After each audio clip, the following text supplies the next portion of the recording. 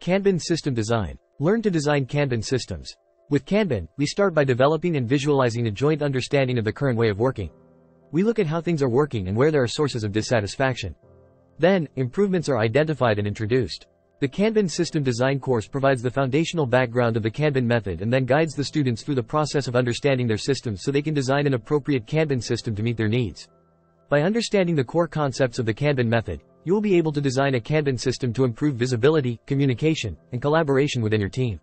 Is Kanban system design the right course? If you will be directly involved in designing and managing a Kanban system, you will certainly want to take the Kanban system design course.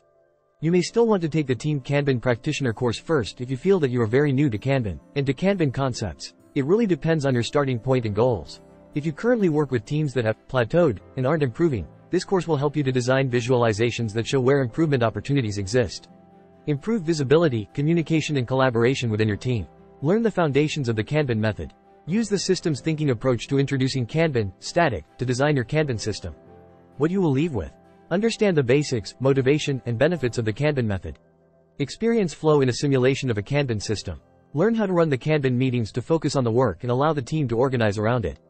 Build and design a Kanban system using the STATIK approach. Become faster and more responsive, with better risk management and governance. Understand, pull, systems and how they help reduce overburdening. Learn how to utilize key metrics such as lead time, run charts, and cumulative flow diagrams to make continuous improvements.